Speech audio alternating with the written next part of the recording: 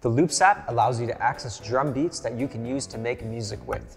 Inside of Groove, you can view the most popular drum beats. Under Style, you can view all the various genres of drum beats inside of the Lava Me 3, from neo soul to Latin to beatbox to hip hop. Under Trending, you can view the most recently posted loops from other Lava Plus players. And then finally, under Me, you can view your drafts, your posts, or your favorited loops from other players.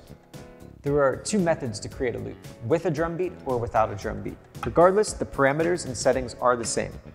You set your time signature, BPM, and bars. Once you have it to your liking, press done. Then go to settings. Inside of settings, you're gonna see continuous recording. If it's off, it's gonna be one loop and then stop recording, where if it is selected as continuous recording, it's gonna continuously record all three loops until the last third one is done. You can also adjust a one bar count in or a two bar count in. And then finally, if there is or is not a count in sound, remember to press confirm. Press record when you're ready to go. After you're done recording all of your loops, you can adjust the parameters and the volume of each track, and then finally press done where you can post it to the Lava Plus app or save it to a draft, which saves it internally to the guitar.